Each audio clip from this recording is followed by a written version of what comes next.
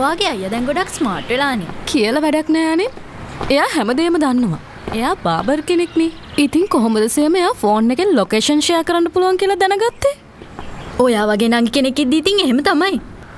ආ ඒක නෙවෙයි. අරයා ගැන අලුත් නිවුස් එහෙම තියනවද?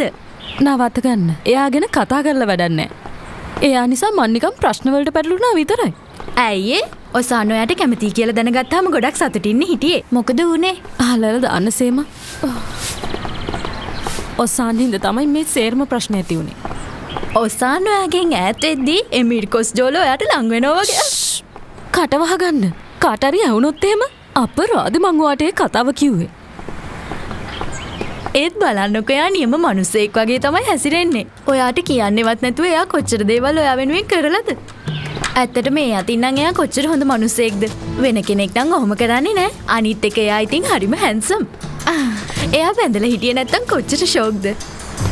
අනේ මේ නිකම් විකාර කියවන්න එපාසේම ඇයි ඒ? එහෙම වෙන්න බැරිද?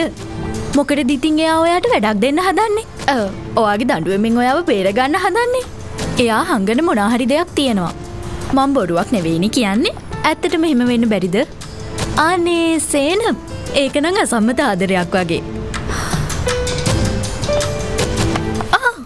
මොකදානේ කරන්නේ ඔයාට වැහිලැන්නේකාව එලවන්න හැදුවේ.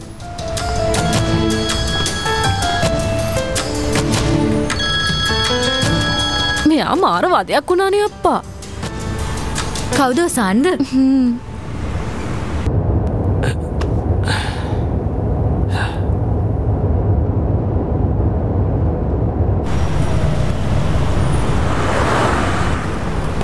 මටනන් දැම්මේ අමුතු කොල්ලගෙන බයයි. කට්ටියම් මාව බයගොල්ලෙක් කරලා තියෙන්නේ. ඒ මොකද එයා මොනා කරන්න දොයා බයවෙන්න එපා. වැඩිම වුණොත් ඉතින් කෝල් කරයි. සාලි ඔයාට ගහලා එලවගත්තේ නැත්තං එහෙම ඔයා යාට කියන්න. මෙයා මගේ පස්සෙන් එනවා මව බේරගන්න කියලා. එහෙම කරන්න පුළුවන් වුණානම් මම මෙලහාකටත් ඔය කොල්ලට හොඳ පාඩමක් උගන්නලා.